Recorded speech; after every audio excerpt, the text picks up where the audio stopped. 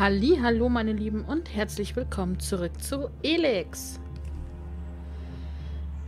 So, meine Liebe. Ich will handeln. Gut. Sieh dich nur um. Was haben wir denn? Beil 5. Mhm. Mhm, mhm, mhm, mhm, mhm, mhm. Achso. Achso. Okay, was ist denn eine Zwinge? Okay, ich muss mal, glaube ich, meine Attribute mal aufrüsten. Die ganze Zeit am Rumfummeln. Immer dieser Technikkram. Ja, sorry. Ist halt so. So. Hm.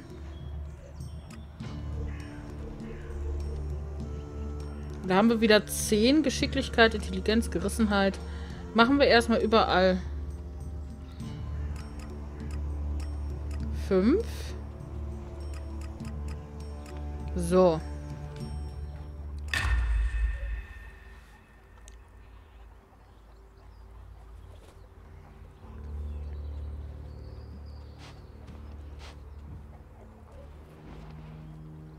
Ich weiß nicht, was das jetzt alles hier ist. Wahrscheinlich, was ich jetzt hier so im Inventar habe, habe ich ja nichts. Eigentlich habe ich ja wirklich nichts. Scheiße. Ich brauche auf jeden Fall eine Waffe. Aber was ist das mit dieser Persönlichkeit? Was hat das mit dieser Persönlichkeit auf sich? Denn ich verstehe das nämlich nicht. Kälte neutral. Ich verstehe es nicht, aber ich brauche auf jeden Fall nicht genug Persönlichkeit. Hm. Ich will handeln. Gut. Sieh dich nur um. Ja, gib mir erstmal ein Beil wieder, ne? Einfaches Beil der Berserker. Voraussetzungen.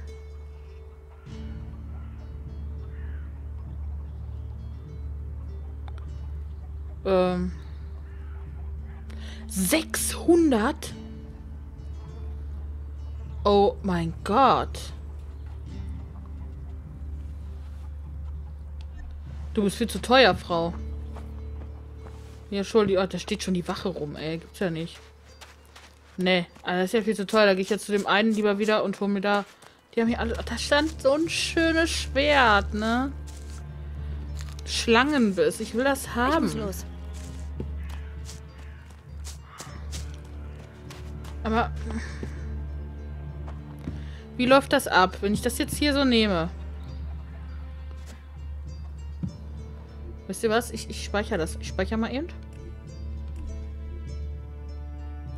Und dann lade ich einfach wieder neu, wenn äh, es ganz schlimm ist.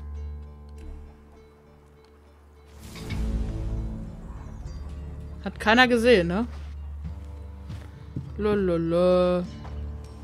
Okay, wenn das also keiner sieht, dann ist das, ist das, dann kann ich das nehmen, oder was? Tatsache. Okay.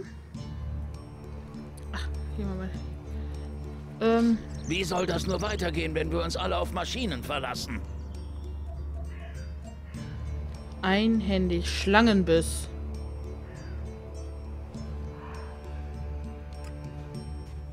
Stärke, Geschicklichkeit. Da brauche ich Geschicklichkeit 60 und Stärke 30. Toll, jetzt hat, mir die, jetzt hat die mir überhaupt nichts gebracht, ey. Haben wir hier noch irgendetwas, was ich irgendwie benutzen könnte? So. Haben wir hier noch irgendeine Waffe rumliegen? Ich nehme den Besen. Scheiße, okay. Hätte ja klappen können. Jetzt weiß ich auf jeden Fall, dann hätten wir jetzt... Kriege ich das denn alles her? Es muss doch hier irgendwo mal was, was Billiges geben. Wo ist denn hier der Typ? Ist der weiter oben oder... Wo habe ich den denn gefunden? Da ist er. Äh, ich will handeln. Ich will handeln. Sicher doch. Äh, gib mir mal meine rostige Axt wieder. Danke. Ja, die hätte ich gerne wieder. Eine Sonnenbrille, klassisch. Boah, die haben Preise hier, das ist ja unglaublich, ne?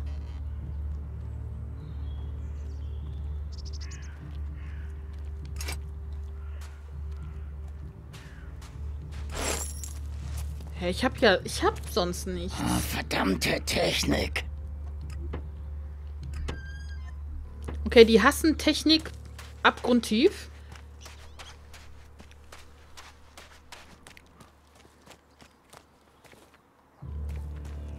Was liegt denn hier rum? Aha. Okay. Wo muss ich jetzt hin? Ich war da unten, war ich. Jetzt muss ich wahrscheinlich nach oben. Hallo? So, und was ist dein Verbrechen? Äh, was? Ich bin Warlord Ragnar, Schirmherr dieser Berserker-Siedlung, solange Meister Thorald auf Pilgerreise ist. Wer ein Verbrechen begangen hat, muss sich vor mir verantworten. Außerdem haben Abgesandte anderer Gemeinschaften bei mir vorzusprechen. Also bist du ein Abgesandter oder warum bist du hier? Sprich. Ich bin ein Abtrünniger der Alps. Äh, ich komme tatsächlich nicht aus Idan. Ich bin ein Niemand.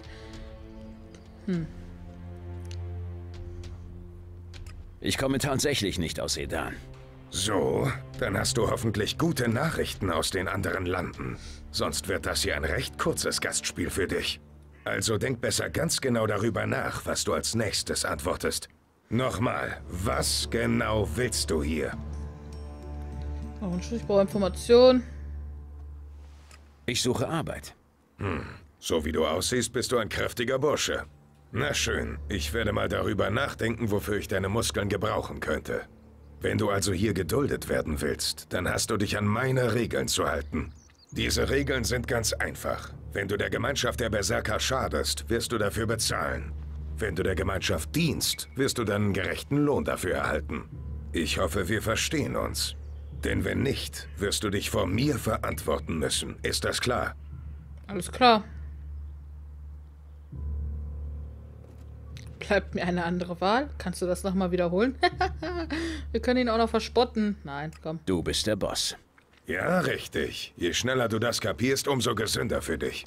Alles andere wäre äußerst leichtsinnig von dir. Gibt es sonst noch etwas?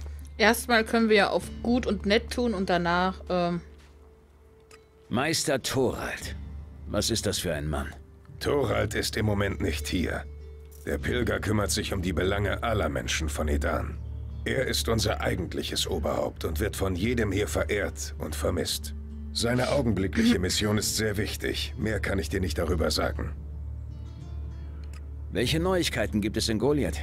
Goliath ist meine Stadt und ich habe hier das Sagen. Das sagtest du bereits.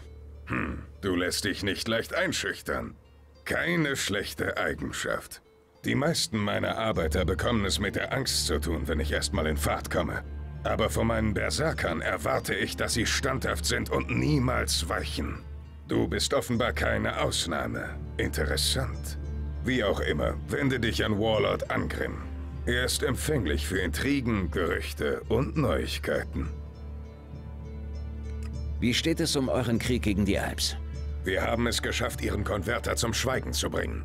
Noch immer ragt seine drohende metallische Ruine im Norden über unser Land. Er erinnert uns daran, wer der wahre Feind allen Lebens ist. Die Alps selbst werden nicht mehr so häufig in Edan gesehen. Scheinbar sammeln sie ihre Kräfte weit im Norden. Wer weiß, wann sie zurückschlagen. Hin und wieder werden die Separatisten, eine rebellische Splittergruppe der Alps vor Goliath gesehen.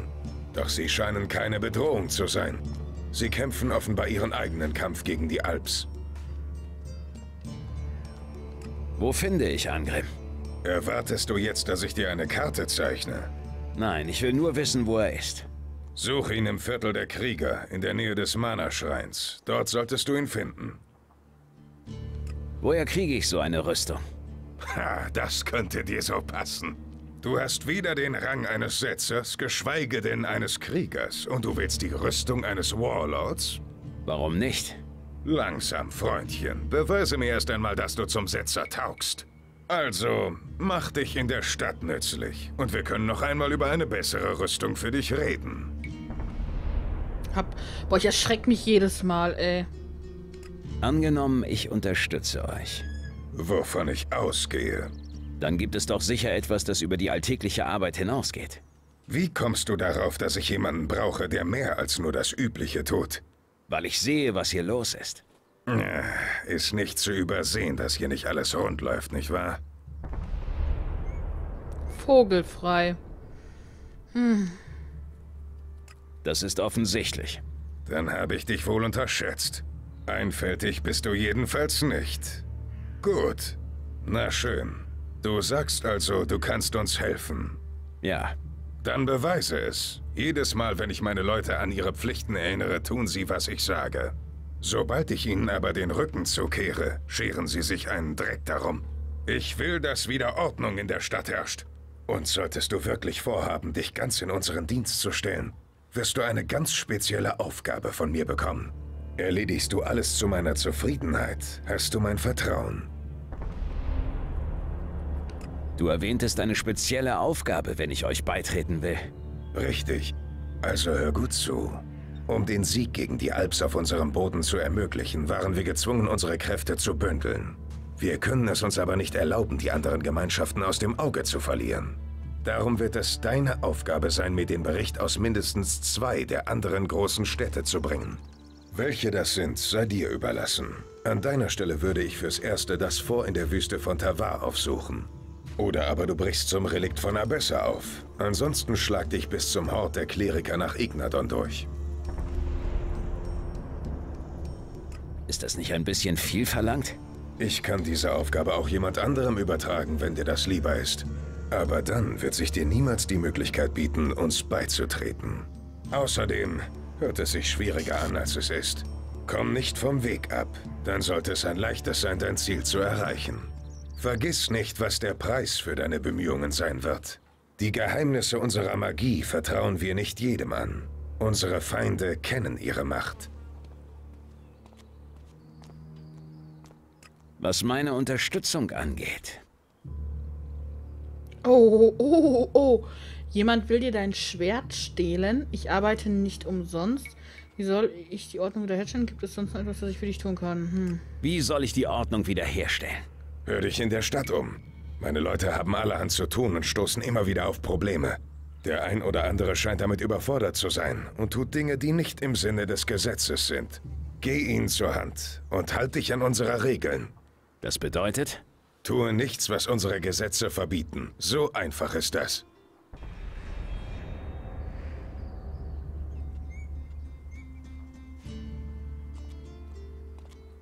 ich arbeite nicht umsonst. Das Angebot ging doch von dir aus. Ich helfe euch, weil ihr mich braucht. Dann behalt einfach die Splitter, die meine Leute dir geben. Und was ist mit dir? Ja, denkst du, mir sitzen die Splitter locker in der Tasche? Almosen gibt es bei mir nicht. Pack mit an und du wirst entlohnt. Gibt es sonst noch etwas, das ich für dich tun kann? Dir ist es richtig ernst, was?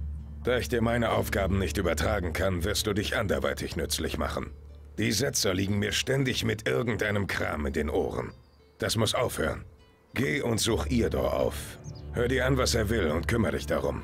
Es gibt schließlich immer was zu tun und er bildet da sicher keine Ausnahme. Wo hält sich Irdor auf? Südlich von hier, unterhalb Goliaths, wirst du ein Weltenherz finden. Es dauert zwar eine Weile, bis du dort bist, aber so liegen die Dinge nun einmal. Wenn er nicht gerade Futter für die Biester geworden ist, solltest du dich dort nach ihm umsehen. Ja, ich glaube, welche das ist. Ähm, das mit dem Schwert werde ich ihm jetzt nicht erzählen, weil ich will das ja, ich will das ja haben. Also, ich will es haben. Ich will das dem Typen nicht geben, sondern ich will das haben. Ach, Mädel, du siehst so gut aus. Kann es denn sein, dass das Schwert oben bei ihm zu Hause ist? Hier?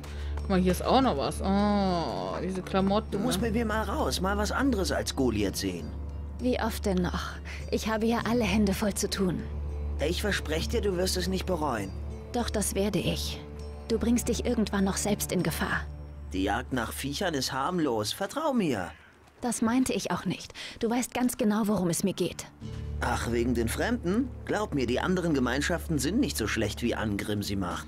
Er und sein Eisenclan, die können mich alle mal. Genug. Ich will nichts mehr davon hören. Wegen dir kriegen wir noch Ärger. Ich wollte eh weiter. Man sieht sich.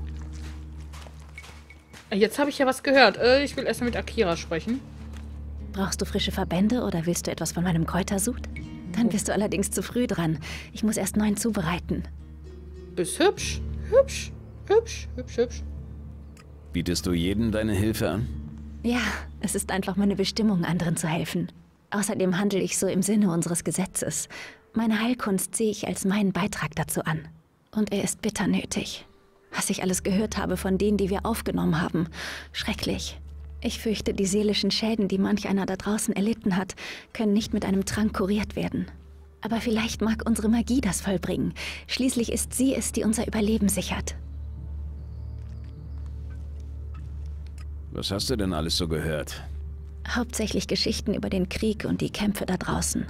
Grässliche Wunden und viele Tote. Die Alps beherrschen eine unglaublich zerstörerische Art der Magie durch den Konsum des reinen Elex. Ja, sie ist sehr effektiv.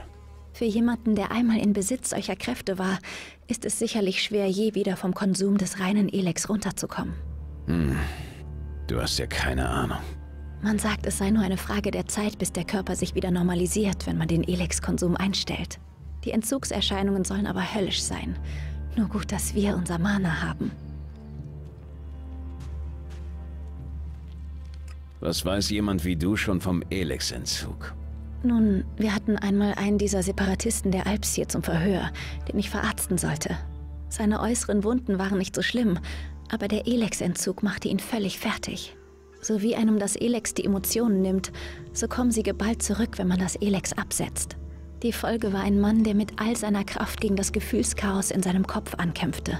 Was ist mit ihm passiert? Wo ist er? Er starb. Sein Wille war nicht stark genug, um sich dagegen zu wehren.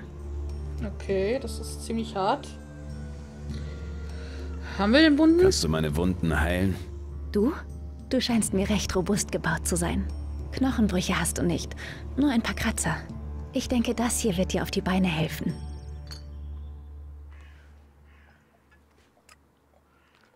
Ja. Danke. Ach, das war nur eine Kleinigkeit. Je schneller du lernst, dich selbst zu verarzten, umso weniger Arbeit habe ich damit. Okay, die ist definitiv mein Typ. Wo ist der Typ hingegangen? Die Zeit läuft ja weiter, ne? Aber den finde ich schon irgendwann wieder. Den finde ich schon wieder. So, was haben wir hier? Guck mal da. Ich sammle hier die ganze Zeit Kräuter und alles, ey. Schön gut dick. Hier ist nichts. Nö. Hier ist mal so absolut gar nichts. Was war hier? Ich kann hier in die ganzen... Die haben hier alle keine Tür, ne? Verschlossen. Mana, verboten. Aber es ist ja keiner hier. Was war das denn jetzt? Ich bin mal weg. Wir sehen uns später. Nein, das kann ich nicht glauben. Sollen wir, sollen wir die Hex... Ich, ich bin da immer noch ein bisschen... Ich speichere noch mal vorher, aber ich bin da immer noch ein bisschen enthalten. Also so, so, also ja, so vorsichtig drinne. Weil... Das mit dem Clown, das kann echt... Scheiße werden, ne? Was soll ich denn mit einem Teller? Auch wenn der gut ist, was soll ich damit? Tagebuch einer Verbannten. Katas Tagebuch.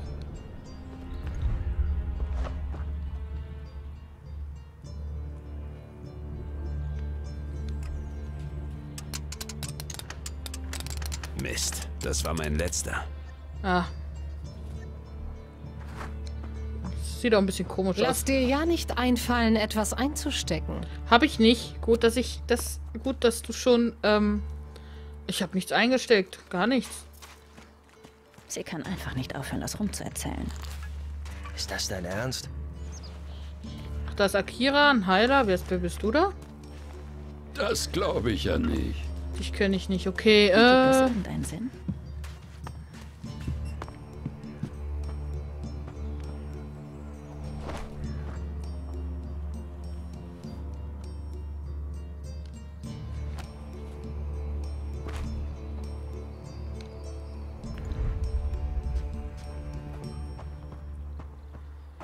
Der Mann ist ja vorsichtig, ne? Was hast du hier zu suchen? Ich gehe nur spazieren. Boah, die Alte, die sitzt voll auf Lauer, ey. Na, ja, das sieht man, oder? Da hinten lau da laufen ganz viele Wachen rum. Das sieht man sowas von.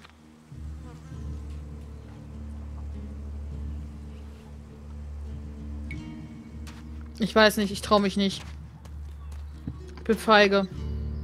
Jetzt haben wir da oben noch was und da haben wir da unten. Ich gehe erstmal nach ganz oben. Ein bisschen schnüffeln, was hier das für Häuser sind. Schönen guten Tag. Wache, Wache, Wache. Wache sieht... Hier ist Duras. Ach, Duras. Duras. Cool. Was haben wir hier für eine Hütte? Hier war doch keiner, oder? Hab zu spät geguckt. Hab zu spät geguckt. Den Hammer brauche ich nicht. Ich komme auch wieder raus. Mhm. Ach, ich fühle ich fühl mich hier richtig wohl. Ich bin richtig so ein Mittelalter-Fan, ja. Ach, das ist eine Nachtwache. Oh, guck mal, was die Nachtwache kann. Das gibt's ja nicht, ey. Was suchst Huh? du hier? Ähm, Was willst du hier? ich will nur gucken. Ich merke es sofort, wenn hier was fehlt, klar? ja, ich mach doch Was nichts. willst du hier? Lass mich dich mal angucken. Eigentlich hast du hier nichts zu suchen. Okay, dann gehe ich wieder.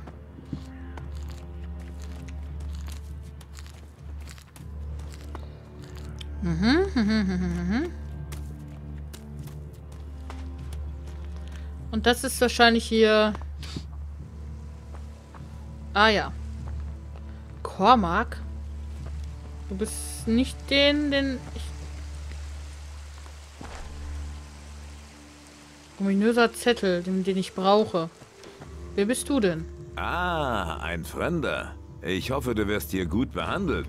Ich weiß, dass die Leute hier gerne über Fremde tratschen. Auch wenn wir es nicht tun sollten. Wir sind alle im Krieg mit den Alps. Wir freien Menschen sollten zusammenhalten und uns nicht an jeder Ecke misstrauen.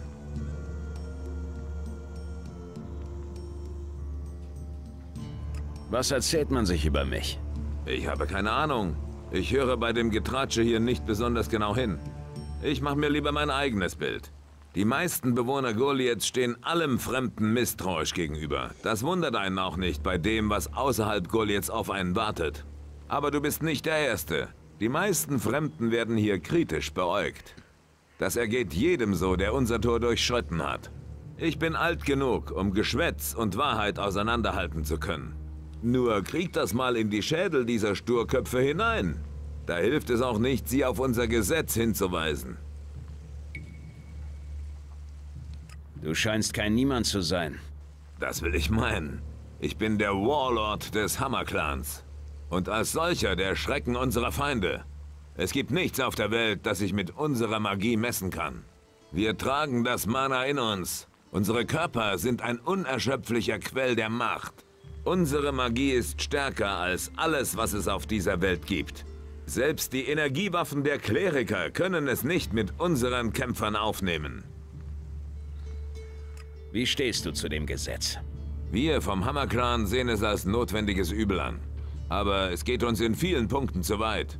Darum sehen wir auch über manche Verstöße großzügig hinweg. Zum Beispiel Diebstahl?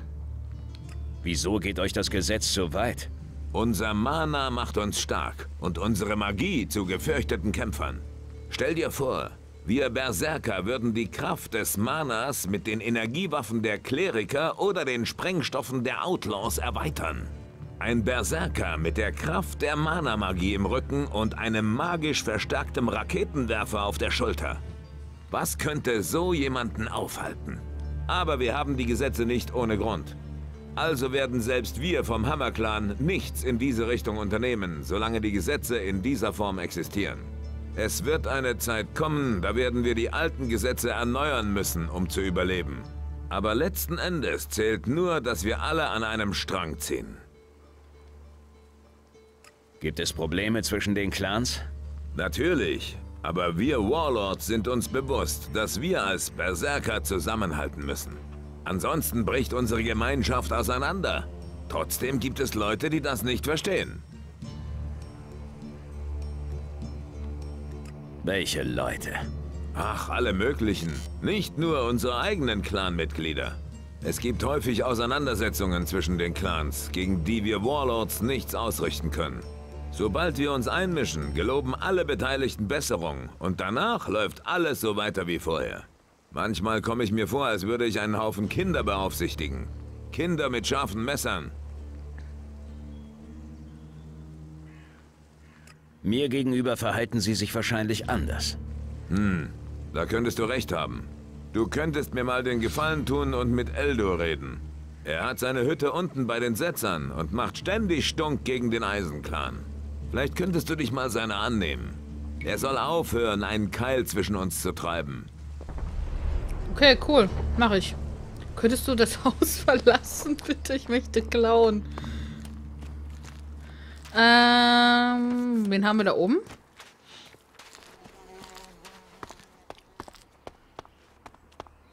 Sieht aus, als wenn das hier mal so eine Art Krankenhaus gewesen wäre.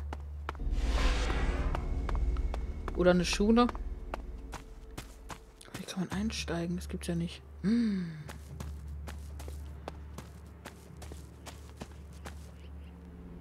Hochalla. Oh mein Gott. Da schlafen die ganzen Wachen. Die schlafen doch, oder sind die tot?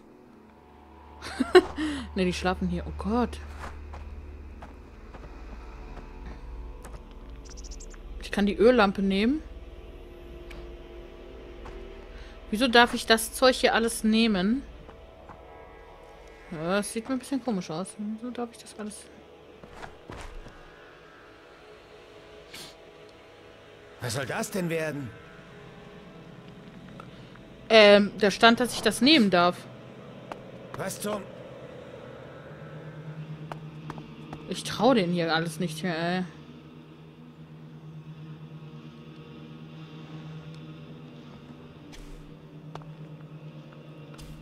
Ich brauche dieses Schwert. Ich will das haben. Ich will das für mich haben. Liegt noch ein Sofa rum?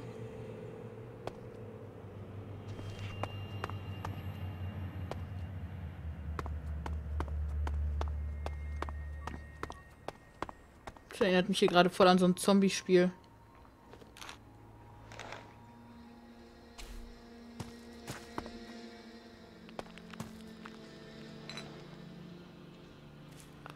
Äh, voll die geile Idee, diese Mischung, ne? Mit diesem Mittelalter und dann... Ich weiß nicht, das gefällt mir richtig gut. War ein kleiner Mana-Trank.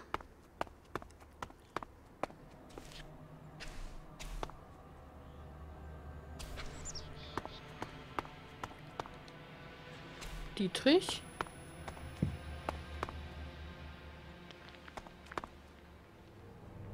Ein Pixelfehler.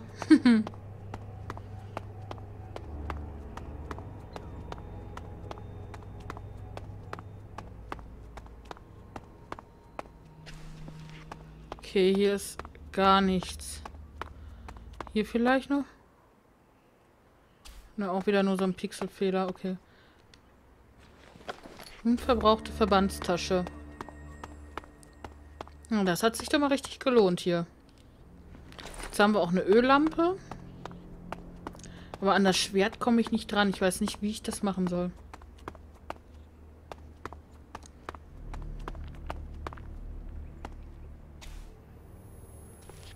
Kann man die Sachen kaputt hauen? Ah, die Frage ist ja dann wieder, wenn man das kaputt haut, kommen dann nicht die Wachen dann hoch.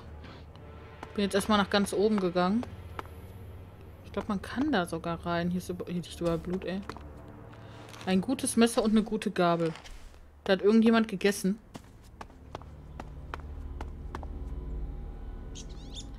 Bin ich jetzt... Nee, ich bin... Ich bin definitiv...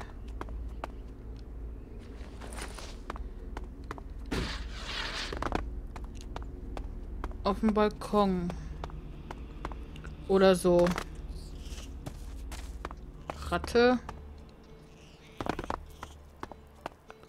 Oben ist noch ein Berg. Mein Gott, was ist das denn? Hier ist das alles so groß hier. Es ist alles so verdammt groß.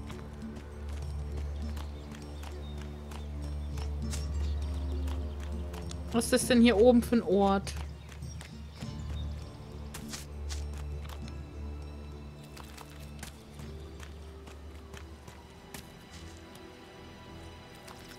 Hm.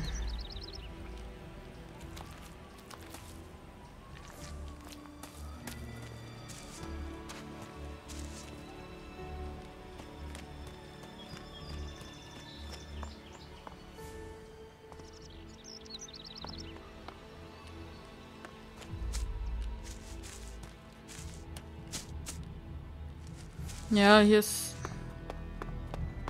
nicht wirklich viel. Was ist das denn? Ach so, das ist das Portal. Ich dachte gerade, was schwebt denn da hinten, ey? Aber nein, nein, nein, nein. Oh Gott. Ganz vergessen, dass wir sowas haben.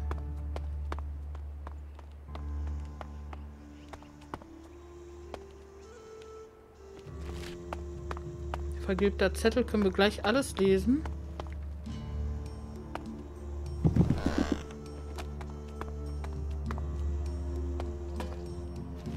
Ich muss ja so viele Heiltränke schon haben. Aber die liegen ja hier auch en masse rum. Das ist ja eigentlich schon nicht mehr normal, ne? Okay, da kann ich nicht runter. Ich auch nicht durch.